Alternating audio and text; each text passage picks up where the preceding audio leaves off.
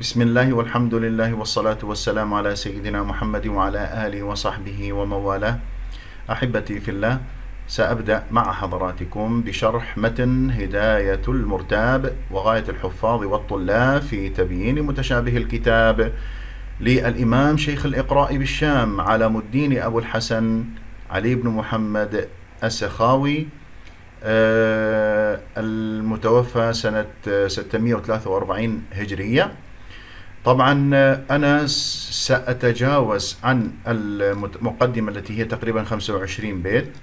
لمن أراد الرجوع إليها وسأبدأ مباشرة مع الأبيات التي فيها آه، المتشابهات. وهو طبعا قسمها على الحروف الأبجدية فبدأ بحرف الألف.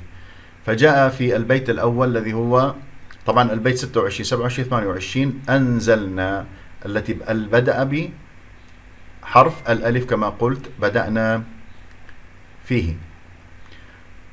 قال رحمه الله وقرأ فأنزلنا بآي البقرة على الذين ظلموا محبرا لكن فأرسلنا عليهم جاء في سورة الأعراف يقينا فاعرفي وآخر الآية يفسقون فيها وفي الأعراف يظلمون. طبعا في نسخ أخرى مكتوب هنا مخبرة أي مخبرة أنه جاءت على الذين ظلموا. هذه الأبيات جاءت عن الآيتين 59 البقرة 162 الأعراف يعني ما بين البقرة والأعراف آه الآية في البقرة فبدل الذين ظلموا قولا غير الذي قيل لهم فأنزلنا على الذين ظلموا رجزا من السماء بما كانوا يفسقون. وفي الأعراف فبدل الذين ظلموا منهم قولا غير الذي قيل لهم فأرسلنا عليهم رجزا من السماء بما كانوا يظلمون. ننتبه إخوتي في الله. أولا قال فأنزلنا في آه، سورة البقرة وقال فأرسلنا في سورة الأعراف.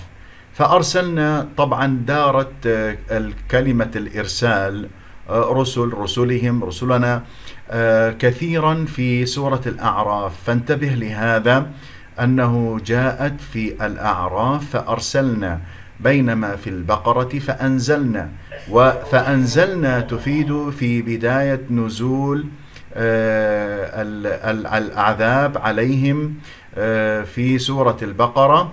آه، هذه يجب أن ننتبه لها. وأيضا ننتبه بأنه كلمة النزول الإنزال وردت كثيرا ودارت كثيرا في سورة البقرة على عكس الإرسال. أيضا ننتبه إلى هذا الأمر. آه، أيضا ممكن أن أقول مرة أخرى في كلمة أرسلنا أنه ورد فيها حرف الراء وأضبطها آه، مع اسم السورة آه، حرف من اسم السورة الراء في الأعراف. فأرسلنا الأعراف. هذه نضبطها. طيب هذا الضبط ما بين فأنزلنا فأرسلنا. على الذين ظلموا. هنا يقول في البقرة أنه على الذين ظلموا فبدل الذين ظلموا على الذين ظلموا. الذين ظلموا تكررت مرتين في سورة البقرة وجاءت مرة واحدة في سورة الأعراف.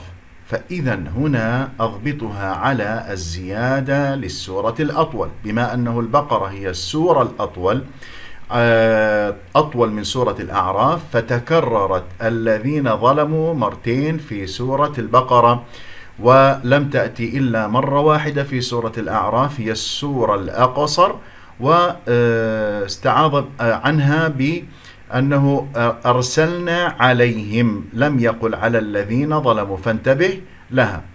الذين ظلموا منهم هنا جاءت في الأعراف ولم تأتي في البقرة فجاءت في البقرة. على الذين ظلموا مرتين هنا منهم وعليهم. أنا أركز على منهم عليهم. ظلموا منهم فهنا لم تأتي في الأعراف. الذين ظلموا مرة أخرى. باقي أمر آخر أنه ختمت آية البقرة يفسقون وختمت آية الأعراف يظلمون. يفسقون فيها حرف القاف وأربطها مع قاف البقرة. قاف البقرة من اسم السورة. فهنا تنضبط عندي أنه يفسقون جاءت في البقرة ويظلمون جاءت في الأعراف. ويفسقون جاءت في آه، سورة البقرة أنه في آه، لما أنزل الله عليهم العذاب مرة واحدة فبما كانوا يفسقون تلك المرة بينما بما كانوا يظلمون والإرسال هو مستمر إلى يوم القيامة فإذا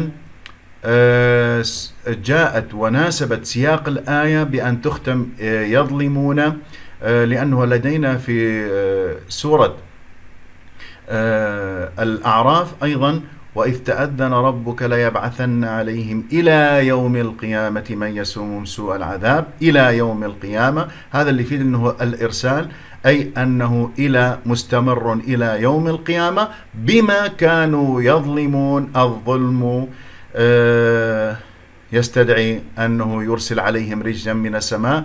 ما داموا أنهم يظلمون فالإرسال مستمر إلى يوم القيامة. هذا آه، ما وفقني له آه، أن آه، أبينه لحضراتكم. وما كان من توفيق وصواب فمن الله وحده وما كان من خطأ أو سهو أو نسيان فمني ومن الشيطان وأستغفر الله لي ولكم. كان معكم دريد إبراهيم المصلي والسلام عليكم ورحمة الله وبركاته.